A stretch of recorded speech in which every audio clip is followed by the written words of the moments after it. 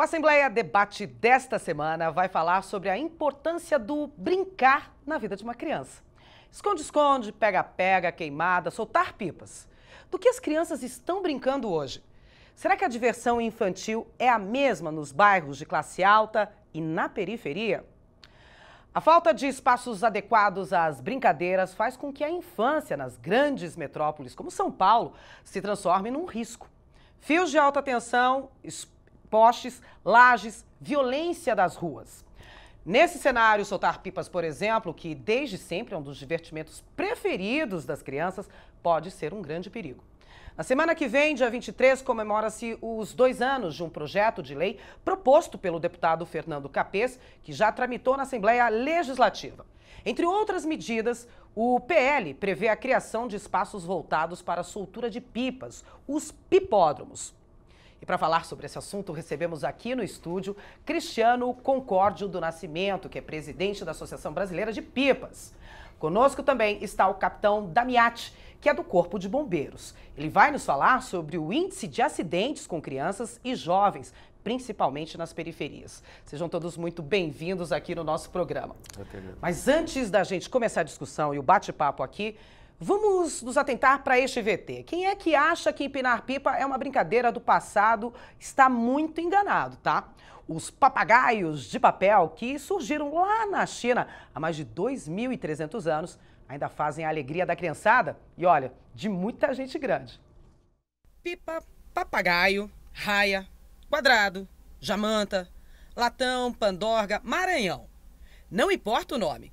O brinquedo feito apenas com varetas de madeira, linha e papel fininho e colorido é sinônimo de alegria, magia, beleza, encantamento e, claro, muita diversão. E tudo à moda antiga.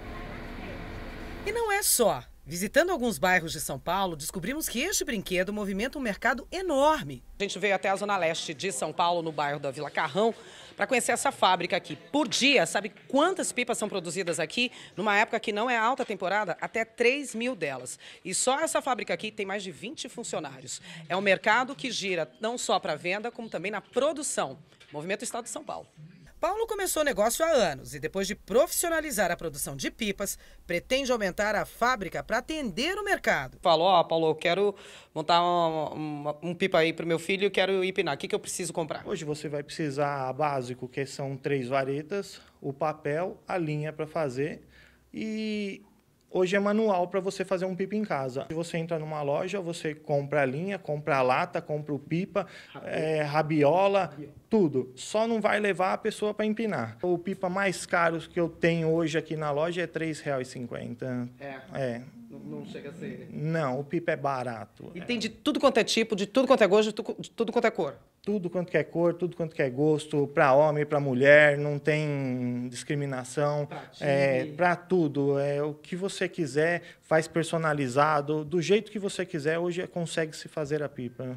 A pipa não tem idade, ele começa a partir da hora que você nasce, que a real é essa, até a hora que você não aguentar mais. Hoje, estima-se que só em São Paulo tem mais de 200 mil profissionais envolvidos direta e indiretamente na fabricação e comércio de pipas. Isso mesmo. Até a velha latinha de leite ou de achocolatado que serviam para enrolar a linha foram substituídas por essas carretilhas. Pura obra de arte ela é mais prática hoje. A criançada não quer perder tempo de ficar enrolando na mão. Hoje ela é muito rápida. Então você pega uma carretilha aqui, é presa a linha, e hoje ele enrola e ela vai enrodando sozinha. Tá vendo? Essa é a grande diferença, é o pulo do gato. É a diferença. A molecada hoje não quer mais aquela latinha que você ficava enrolando na mão, ficava pegando uma latinha de óleo antigamente. Hoje não.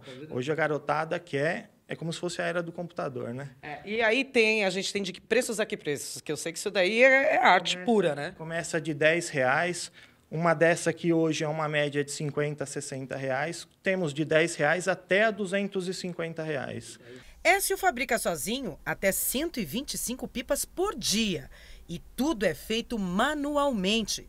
Aí a gente chega aqui na casa do Écio, na oficina dele, e descobre que essa folha aqui de seda, que parece que é pintura, não é pintura. Isso daqui é colagem, quadrinho por quadrinho Nessa daqui, sinceramente, deve ter mais de 100 colagens aqui. A paciência que ele tem. E uma pipa, na verdade, um pipa, porque aqui em São Paulo é o pipa e no Rio de Janeiro é a pipa. Uh, um pipa como esse daqui pode levar até 5 horas para ser feito. Olha aqui, ó. A mesa dele aí de o laboratório, a oficina do Ezio.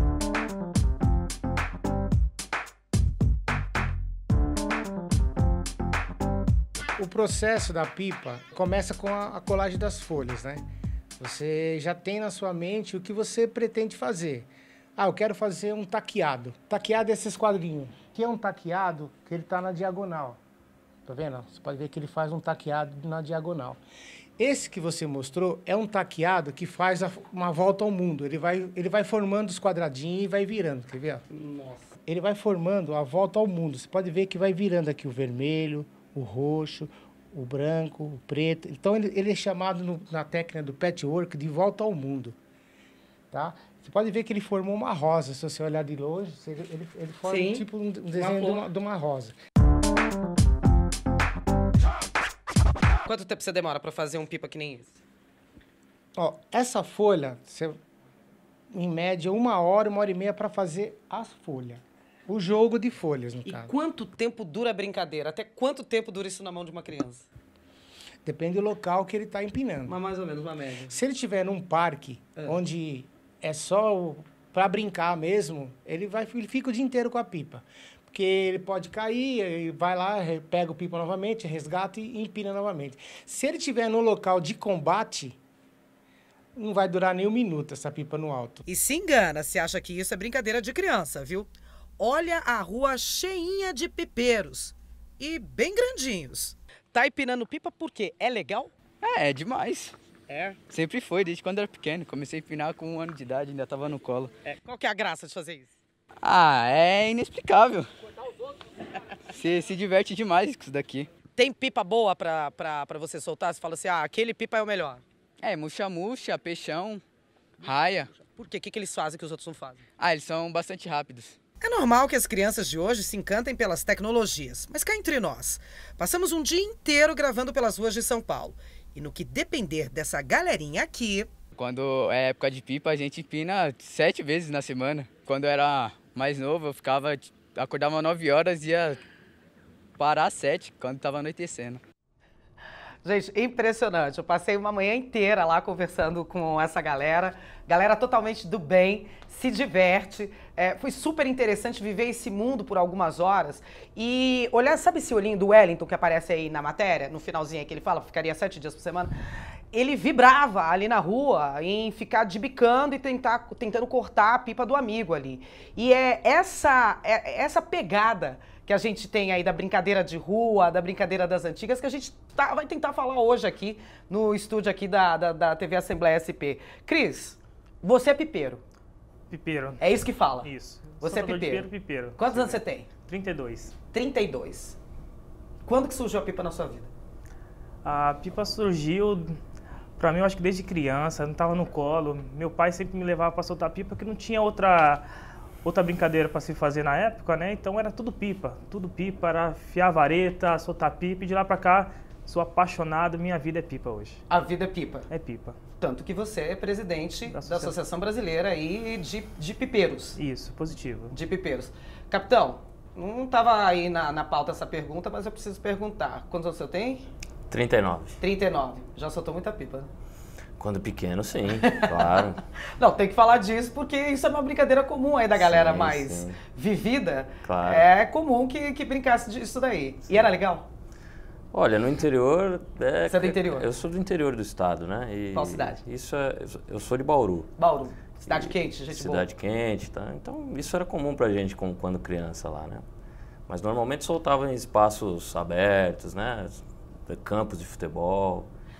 Normalmente a gente soltava perto da nossa casa, que eram espaços abertos. Não tinham prédios, não tinha Exato. toda essa fiação na rede elétrica como tem hoje. Hoje a gente tem mídias, tem internet, tem, enfim, TV a cabo, telefonia expandida, que é ótimo, ninguém está reclamando disso. Mas isso também está ali pregadinho nos postes. Positivo. Virou um problema isso daí hoje de segurança, né, para quem solta pipa. Você recebe muita reclamação por conta disso? Muitas, muitas reclamações e agora está chegando um período escolar, triplica muito, muito. Porque a brincadeira mais barata hoje que tem no Brasil é o pipa. E a periferia é pipa, não tem outro tipo de brincadeira para a gente estar tá brincando. Infelizmente, acaba enroscando nas redes elétricas por falta de locais de soltar pipa. Você vive de pipa? Vivo da pipa. Como é viver da pipa? Como é que a gente explica isso daí para quem está em casa? Ah, eu vivo de pipa. É, é, como você acabou de mostrar nessa reportagem aí. Tem, são, pipa são milhares de produtos envolvendo pipa, né? Do que, que a gente está falando? De carretilhas de pipa, de, da armação do pipa, da rabiola do pipa, da linha do pipa, da seda e cada um fabrica um produto para distribuir no mercado em época de férias. Então tem o cara que fabrica o papel, tem o cara que fabrica vareta. Positivo. E vareta não é só vareta agora de bambu que a gente era que a gente usava antigamente, né? Que era não, bambu, não. descascava com a faca. Não, hoje já tem empresas que especializadas em fazer da palha do coco, da fibra e daí por diante que são outros materiais que veio se modernizando do tempo para cá para dar mais agilidade e facilitar o trabalho. Você brincava de pipa quando era pequeno e de mais o quê? Era o, o básico, né? Pipa, bolinha de gude, peão e futebol. Pipa, peão, bolinha de gude e futebol. Isso. O que, que mudou lá na periferia? Você mora na periferia. Positivo. O que, que, que mudou... mudou... de lá para cá que você vem acompanhando aí? É, você colocando nos índices que sempre está colocando aí, o pipa e com, comparado a essas brincadeiras foi o único que cresceu enquanto outras diminuíram. Hoje você não vê tanta gente jogando bolinha de gude e nem peão, né? E nem aqueles futebol de rua. O pipa, ao contrário, o porquê eu não vou saber te explicar o porquê, mas o pipa evoluiu. Hoje nós estamos indo para fora do Brasil competir com pipa, coisas que não tinha. Hoje são profissionais, é, lá fora ganham salários, né? Nós somos tricampeão mundial de pipa na França, com vários competidores, então veio, veio profissionalizando o pipa, né? Cada vez mais forte. E as lojas cada vez mais procura do produto. Mas assim, vamos combinar. Não é porque estava lá fora que aqui continuou essa brincadeira do pipa, né? Na verdade, assim, foram vocês os responsáveis, que os crianças daquela época, de 30 anos atrás, que continuaram perpetuando isso daí? Porque alguém tem que continuar bancando essa história, né? Porque senão, se os pais não mostram para os filhos como é que é, os filhos não têm como saber.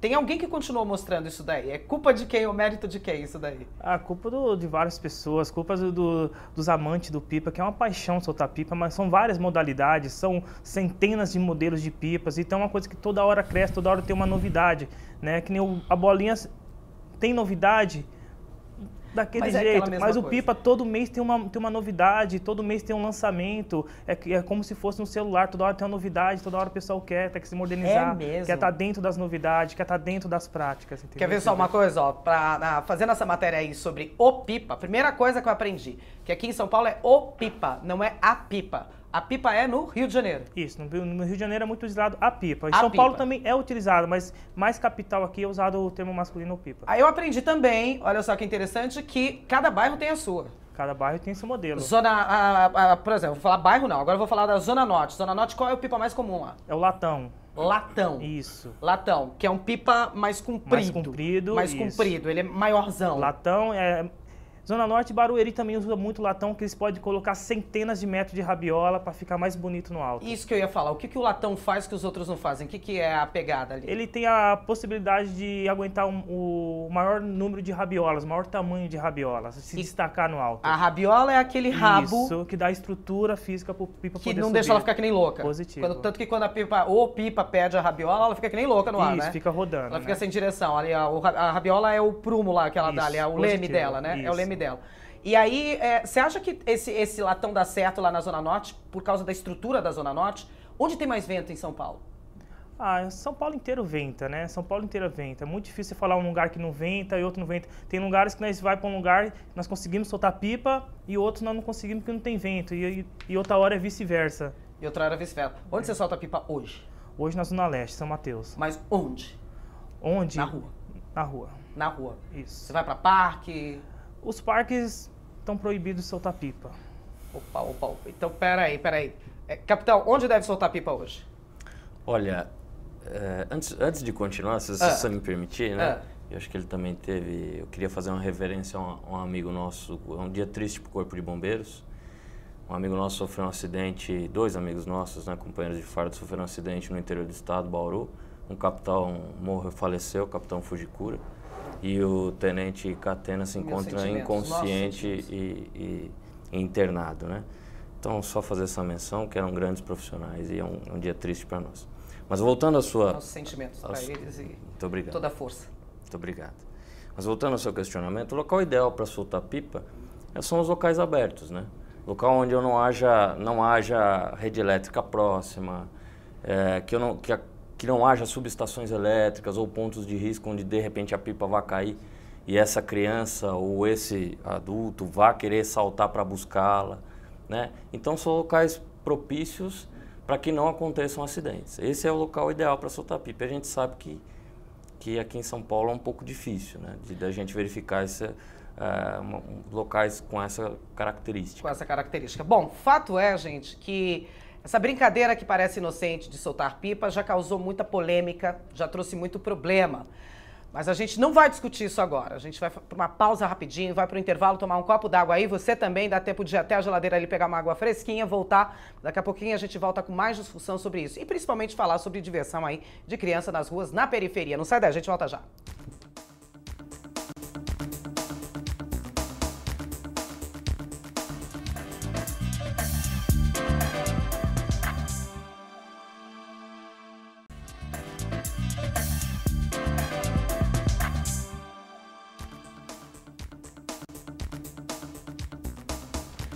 Programa Assembleia Debate está de volta e hoje o assunto é a importância do brincar na infância. Para falar sobre isso, eu recebo o Cristiano Concorde do Nascimento, que é presidente da Associação Brasileira dos Pipeiros e fica aqui no estado de São Paulo. Aqui conosco também está o capitão Damiati, que é do Corpo de Bombeiros. E nós ainda temos o prazer de receber a conselheira da Aliança pela Infância, que é a Giovana Barbosa de Souza. Entre outros projetos, a Giovana participou da criação dos indicadores de qualidade de educação infantil junto ao MEC, Ação Educativa e Unicef. Giovana, seja muito bem-vinda. Então, é, educadamente, eu vou falar com a Giovana agora. Os meninos já estavam aqui no nosso primeiro bloco. A gente estava falando sobre brincar e essa diferença de brincar na periferia de São Paulo e é, na parte da classe média, classe média alta, que as crianças já vivem mais em prédios, já vivem mais dentro de condomínios, né? Tem diferença, né, Giovana? A criançada lá da, da periferia com a criançada de outras regiões de São Paulo. de Olha, brincar. eu acho que são coisas muito interessantes, porque assim, o espaço do brincar é que é diferente, né? Porque a criança, o desejo de brincar da criança não é tão diferente, é o mesmo, é a curiosidade que move a vida. Interessante isso. E é a, a vontade de se aventurar por novos caminhos, né? O brincar proporciona esse lugar na vida da gente.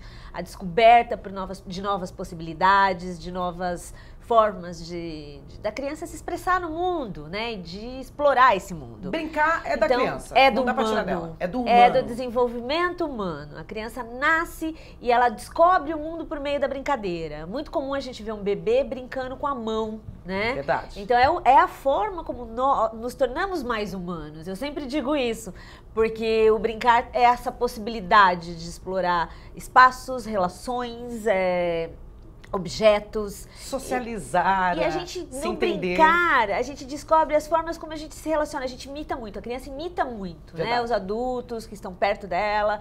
E aí, ela- nessa reprodução de comportamento, vai explorando os seus sentimentos, o sentimento das pessoas com elas, com, a- com, com as quais ela convive e o mundo ao seu redor. E seus medos, que eu acho que é muito importante também, né? Então a gente vive, a, a criança explora uma gama de sentimentos e sensações que faz com que ela se sinta mais presente e confiante no mundo. Então brincar é uma ação humana que é essencial para o nosso desenvolvimento. E é diferente de uma região para outra. Eu- ela é diferente por conta da cultura. Eu acho que assim o contexto social influi muito na forma como essa brincadeira desenvol- é desenvolvida. É. E o espaço, né? Então, isso marca, é, faz parte dos, da- da- das questões, dos indicadores que marcam essas diferenças. Mas é, isso também dá uma questão da, da identidade para a criança. Então, uma criança de classe média em São Paulo, ela é muito diferente de uma criança de classe média em Florianópolis. E muito diferente de uma criança de classe média de ah, Pernambuco, em Recife. por conta do espaço né, que ela geográfico, está. espaço físico, que ela, mas se é também, plano, se é planalto. né, se está aberto, por exemplo, se tem Se é condições, prédio, se está se é- perto do mar, se não está. As crianças que nascem no, no interior de São Paulo, elas têm acesso a um outro espaço, ao verde, né, ao cavalo, ao rodeio, a outras coisas, outros elementos que fazem parte do imaginário da cultura local, que vão habitar o imaginário dessa criança e a forma de explorar o mundo. Mas a as relações são muito importantes, né? E aí o, o brinquedo aparece como um elemento nesse jogo que faz com que a criança vá explorando e, e criando a sua identidade. Agora, capitão Dabiati, a gente está falando muito de São Paulo, capital. É, São Paulo, uma cidade imensa, aí tem a grande São Paulo também, que a gente tem partes, inclusive, rurais aí, mais ruralizadas da, da cidade de São Paulo. Mas a gente tem o interior, a gente não pode falar só de nível capital, tem que falar no nível estadual, aqui que a discussão, inclusive, é essa. São 645 municípios e que as brincadeiras são diferentes. Tanto aqui quanto lá. Agora, no quesito, vou voltar de novo aqui no quesito pipa, que o Cristiano daqui a pouco vai me bater. É, no quesito pipa, a insegurança é a mesma aqui na capital, como no interior, numa cidade do interior que é mais calma, menos carro na rua. Como Então, é que é isso? A insegurança é um pouco menor no interior, Tá. por conta da, da, da densidade demográfica, né? da ocupação do, do, do espaço urbano. E, e mesmo no interior, nós temos cidades e cidades. Nós temos cidades Verdade. de grande porte, de médio porte, e temos cidades extremamente pequenas. Então, isso muda no próprio interior, esses espaços. né? Então, quanto menos ocupação do espaço urbano, mais seguro vai ser o espaço para que a criança possa brincar. Mais Agora, tranquilo fica, né? Existem riscos também. É, também tem, tem, tem ruas, tem rodovias, tem rede elétrica, né? Por Só que que, é menos denso. Por que, que vocês falam tanto em rede elétrica? O que, que é que acontece na hora de pinar pipa que a rede elétrica interfere tanto? Ué, a pipa enroscou lá, pronto. É, Então, o problema Ou é não? que não, não é bem assim, né? O problema é que, assim, é, no nosso país, infelizmente, nós temos redes elétricas expostas. Tudo né? poste.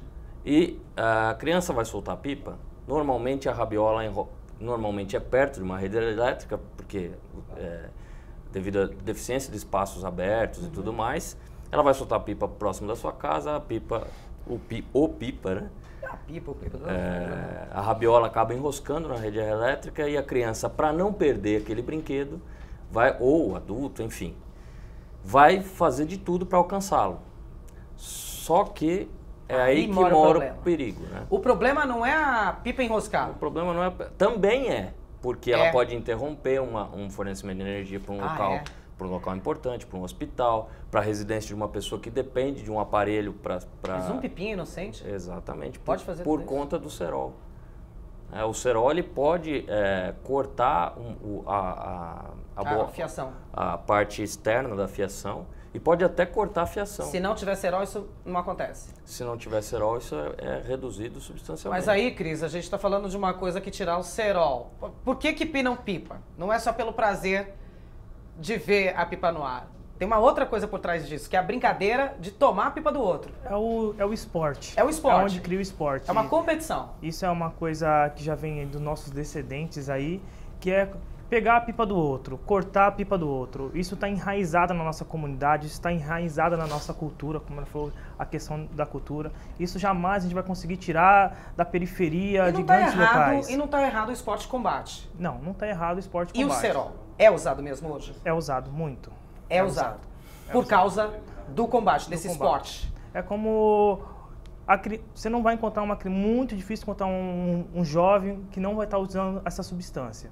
Muito difícil. Por isso que nós O viemos. cerol é fabricado já também, né? Já é Hoje, fabricado. Na minha época ainda quebrava o É. vidro, passava com cola, É um cola de arroz, cola tarará. É. Botavam os fios, esticavam Isso. nas ruas, Exato. de Essa um poste parte- pro outro para vir passando o cerol. Essa parte já não existe mais, já Não está existe. já tá inda- industrializado. Pelo fato de lá fora ser campeonatos mundiais, profissão, são mais E de é 40 usado. países usando a linha de cerol ou linha esportiva, coisa utilizada aqui agora no Brasil, a linha esportiva como profissional. Lá fora está sendo usando muito, então é dificilmente é, você vai conseguir restringir aqui. Eles estão importando materiais de fora para fazer essas competições aqui no Brasil.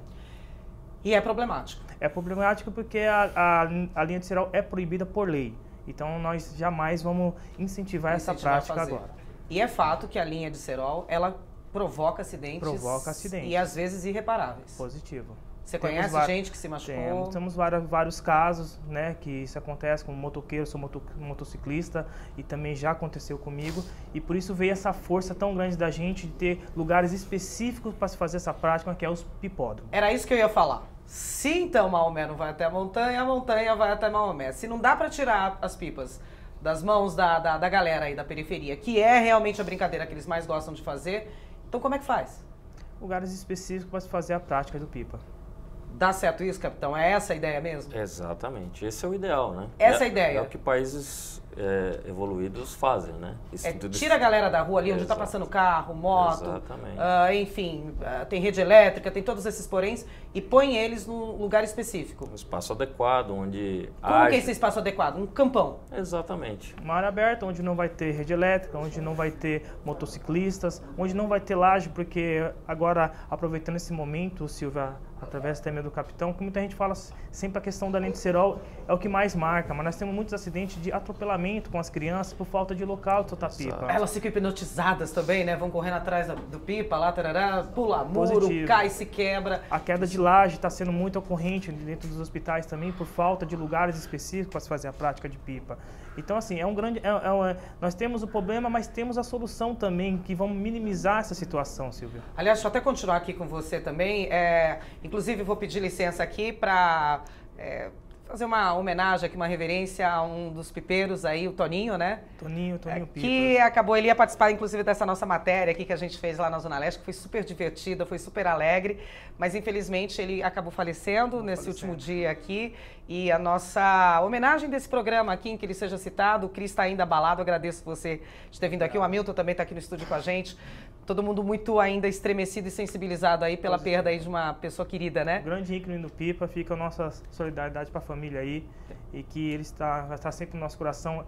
Ele agradeceu muito quando fiz a.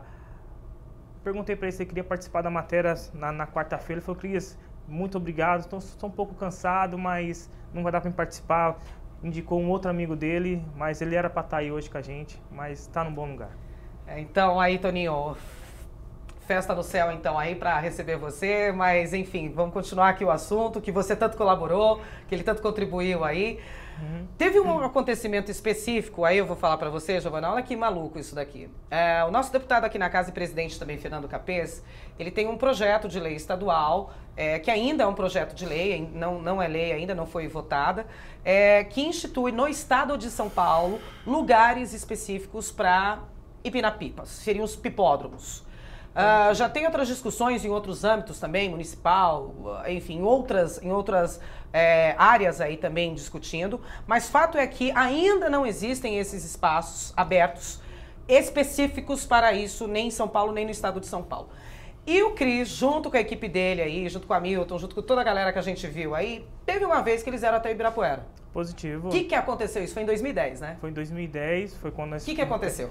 É, nós realizamos muitas oficinas de pipas e palestras de orientação e prevenção de acidente. Muitas nós fazemos. Inclusive, vamos fazer uma amanhã, já temos uma programada. E num desses eventos que a gente faz a distribuição de linha, de pipa, rabiola, é, tudo, para a criança soltar a pipa, o brincar. Né, extremamente sem o uso da linha de cerol, porque nós sabemos do perigo que não são profissionais. Isso nós, nós é só só para profissionais. Estão distribuindo e veio todo mundo para deter a gente. E no Parque do Ibirapuera Mandou aqui. todas Lugar as a- crianças abaixar os pipas. As crianças choraram.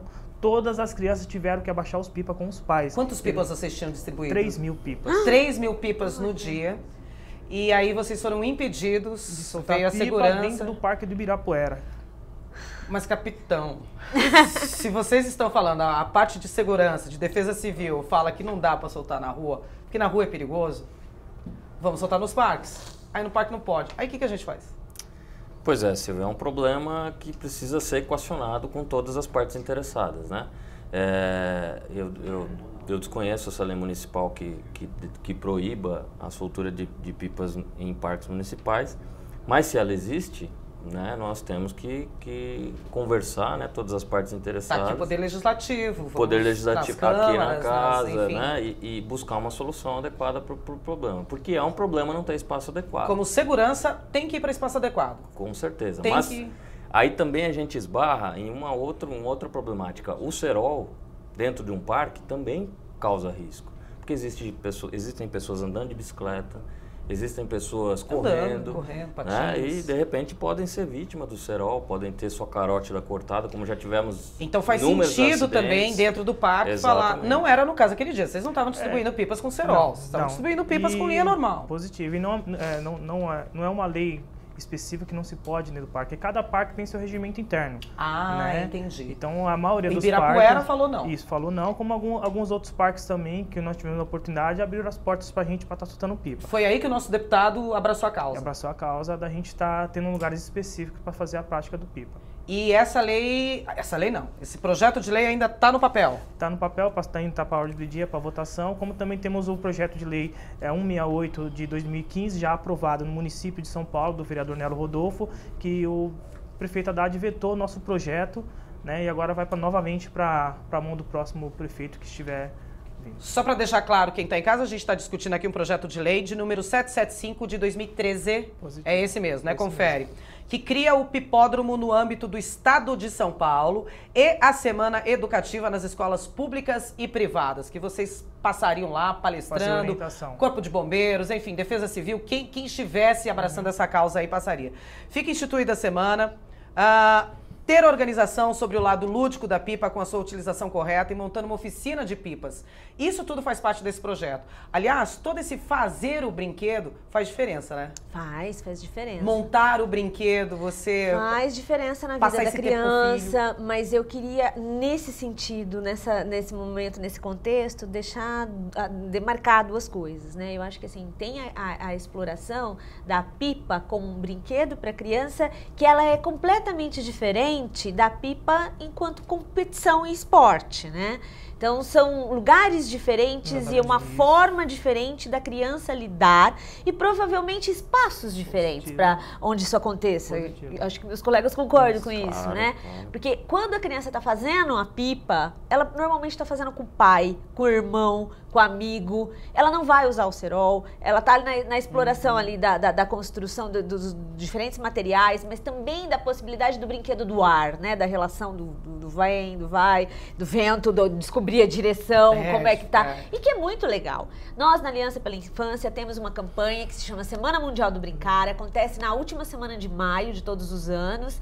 E eu acho, inclusive, que vocês já participaram, dando oficinas de pipa com a gente. É, normalmente ela acontece aqui no Ibirapuera e em vários pontos da cidade. Então a gente entende, com- enquanto movimento que olha para a infância e que tem no brincar uma possibilidade é, essencial de desenvolvimento, a gente olha como um desafio muito grande a questão dos espaços para o brincar na cidade, né? São Paulo é um, um centro urbano mais complexo que nós temos no nosso país. Aliás, vou até te interromper, a gente é, rodou bastante ali pela Zona Leste de São Paulo, indo fazer a matéria. E uma coisa que a gente reparou muito claramente, que não existe espaço para brincar. A gente É. passou, a gente rodou uns 40 minutos a 50 minutos ali de um ponto para outro, tal, bem longe de um ponto para outro. A gente viu uma praça só. Então, Uma praça só. e aí a gente tem um Aí você fala, onde é que essas crianças estão brincando? Então, então, elas estão brincando dentro de casa, porque como brincar é inerente ao ser humano, as crianças não deixam de brincar. Mas você pode perceber como as possibilidades de explorar o mundo são reduzidas por meio da, da- de falta de espaços adequados. E tem uma outra coisa por trás disso.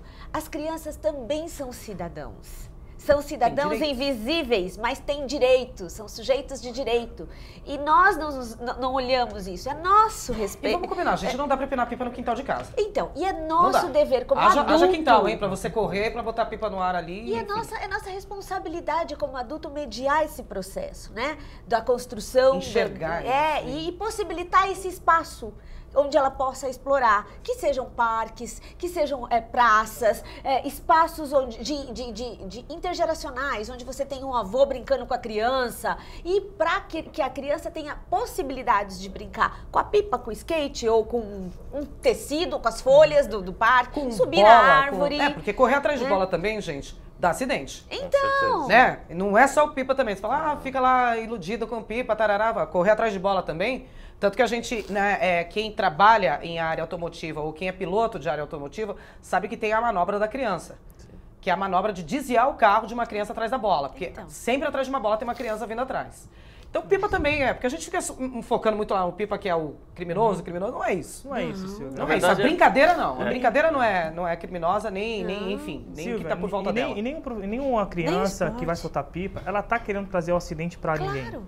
Ele, ele- é uma fatalidade. é. Até o adulto, ninguém quer sair de casa com seu pipa, vou, vou ocasionar um acidente, vou derrubar um motoqueiro. Jamais. Não existe isso no meio do pipa. Nós estamos se organizando muito, nós estamos, estamos, estamos se profissional- profissionalizando para isso não aconteça. Nós somos um pessoal que estamos reduzindo os índices de acidente, porque não há, não há nenhum projeto, nada que faça isso agora, período de férias, envolvendo Tá especificamente chegando o período de férias, isso que eu ia falar, voltou a esquentar.